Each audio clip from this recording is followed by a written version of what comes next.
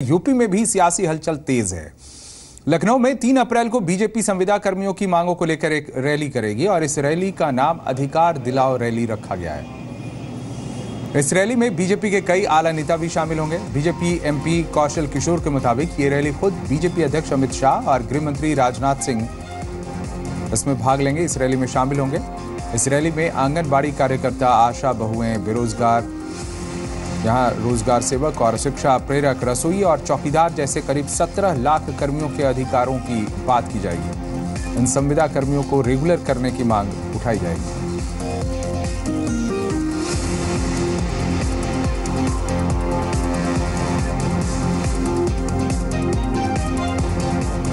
इन सवालों को लेकर के तीन अप्रैल को लखनऊ के झूलेलाल मैदान में एक रैली का आयोजन हम लोग कर रहे हैं।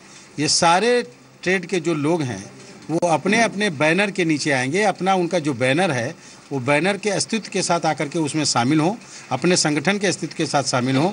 उनके संगठन में हमारा कोई हस्तक्षेप नहीं है। और ये नारे भी लगेंगे। वो एक स्लोगन भी इसीलिए दिया गया है कि जो अधिकार दिलाएगा, अब वो प्रदेश चलाएगा। अमित शाह जी को मैंने आमंत्रित किया कि आप तीन तारीख को लखनऊ की रैली में आइए।